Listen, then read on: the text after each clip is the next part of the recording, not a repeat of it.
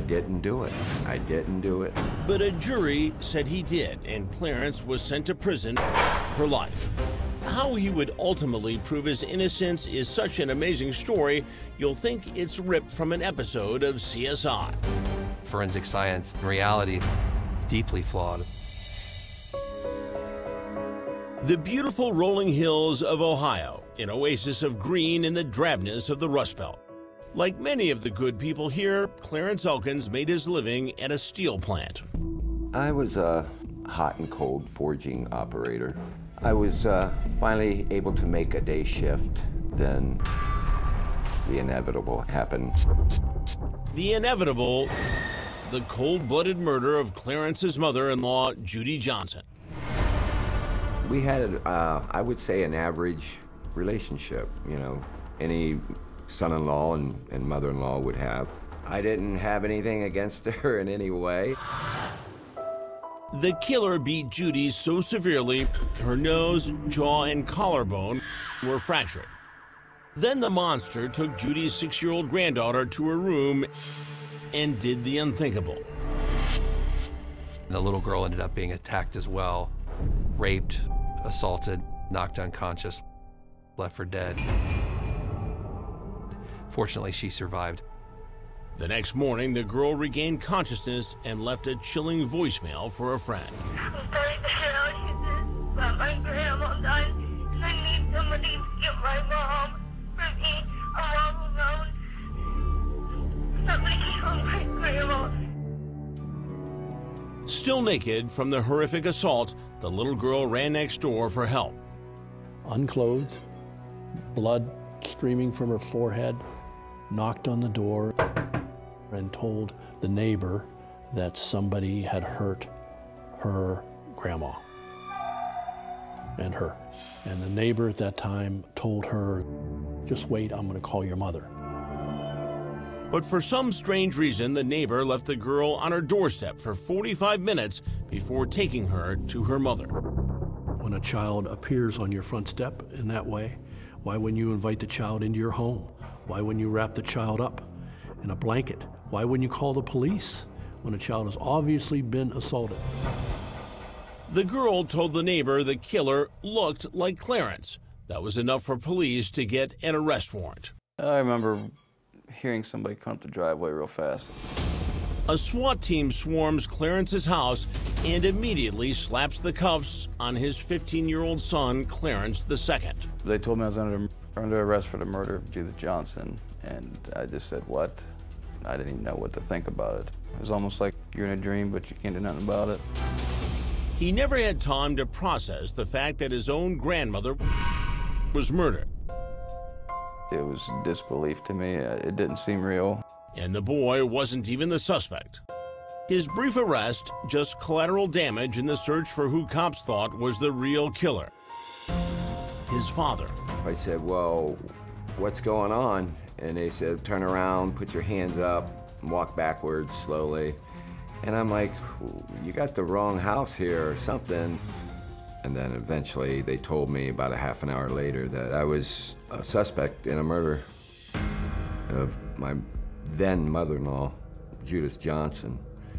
And I said, you have the wrong person. There's nobody here that ever has done anything like that. And they said, well, they had a, uh, a witness, and it was this, the six-year-old girl. In the county jail, Clarence found support from one man who believed in him, Pastor Tom Williams. When I first met Clarence, I said, I want you to look me in my eyes. I want you to tell me, did you do this? And he looked at me and said, I did not do this. I don't even know what's going on. I did not do this. And from that moment on, he had me. Defense attorney Larry Whitney says Clarence couldn't have been at the crime scene because he was at a bar more than an hour away. Although we didn't have an alibi for that time, we had a virtual alibi. We had evidence as to where he was in such a way that he would have had to flew at 80 miles an hour to get to the scene of the crime and back.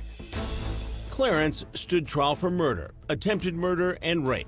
The motive was the uh, difficulty that he had with his mother-in-law personally. There was no physical evidence tying Clarence to the crime scene, but the eyewitness evidence, the little girl's claim.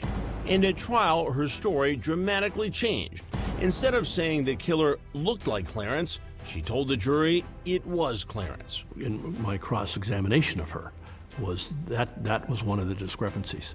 Didn't you tell the neighbor that it looked like Uncle Clarence?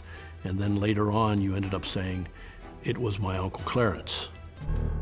Jurors believed the little girl and convicted Clarence. The sentence life in prison. I thought, well, you know, pretty much my life is over now. The moment he walked through the prison gates, Clarence knew he had a target on his back. It's not a safe place. With the charges I was charged with, most inmates don't look on that too lightly. I was always having to watch my back. Lost faith in the justice system and lost trust in about everybody. For years, Clarence rotted away in his prison cell. Then a sensational new development gave him hope. Science was about to turn this verdict upside down. His legal team used new technology to test skin cell DNA left in the little girl's panties. We see DNA testing that can be done because that gives you a clear answer, yes or no, if the person's innocent or not. And the results prove that DNA didn't belong to Clarence, but to a mystery man. I realized that somebody was framing me, somebody was setting me up. But just who was framing him? Prisons are filled with thousands of men who claim they're innocent, and Clarence Elkins is no different. Everybody in prison, they say they're innocent. But Clarence is one inmate who really is innocent. I got arrested, falsely accused, and wrongly convicted. An Ohio jury sent Clarence to prison for life in the brutal murder of his mother in law, Judy Johnson, and rape of his six year old niece. How would he convince the system he didn't do it? Mark Godsey from the Ohio Innocence Project came to his rescue. It right away caught my attention because it had all the earmarks that we're looking for. There was a very shaky eyewitness ID, and more importantly, there was DNA evidence that could be tested.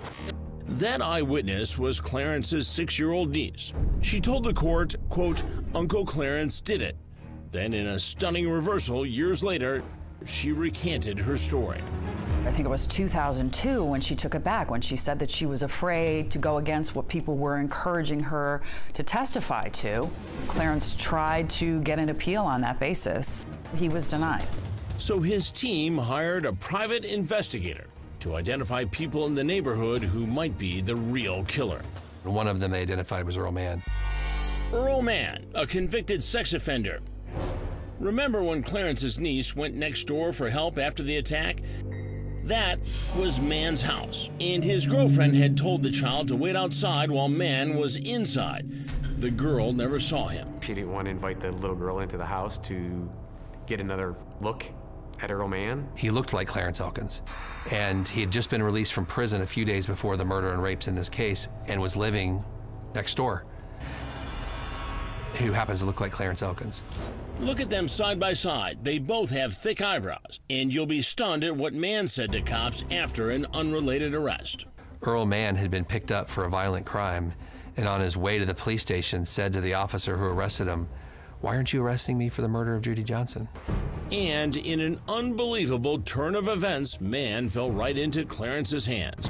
He was sentenced to the same prison. At first, I didn't want to point the finger and blame somebody without some kind of evidence. Um, so I contemplated on possibly maybe getting some kind of DNA from this guy.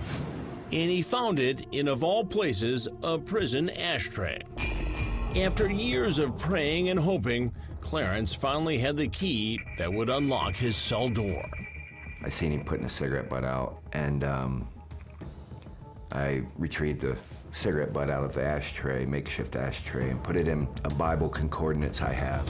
Clarence took the Bible back to his cell, placed the butt in a baggie, and sent it to his lawyer. Secretly mailed it out, got it to the lab, and I got a call about a month or so later.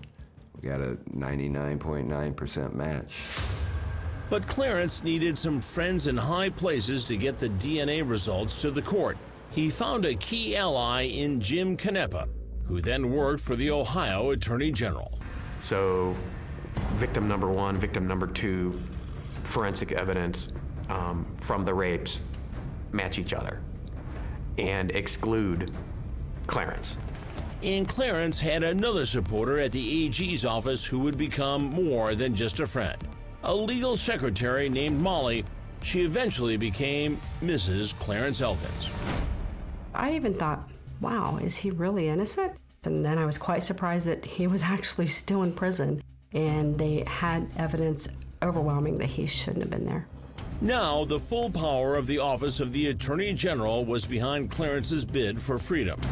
And in a dramatic turn of events, Clarence was completely exonerated. He walked out of prison a free man. I'm still pinching myself. The real killer turned out to be that neighbor next door, Earl Mann. He pleaded guilty to the crimes Clarence was accused of and sentenced to life in prison.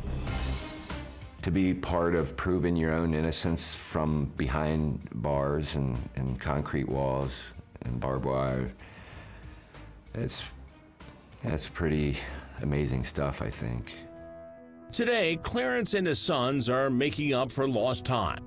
When I seen him walk out the doors, it's it's kind of when it set in, kind of kind of went in shock all over again. They're bonding over bikes, But it didn't have the power. billiards, oh. and posing for pictures at family gatherings. Your heads are clear. But what about the 800 pound gorilla in the room? The six year old niece who accused her Uncle Clarence. I still don't hold any ill-willed feelings towards her. She's just an amazing, strong person to survive. And so is Clarence, cherishing the freedom of riding his motorcycle whenever he wants. He and Molly established a scholarship fund at the University of Cincinnati Law School. That's where the Ohio Innocence Project is based.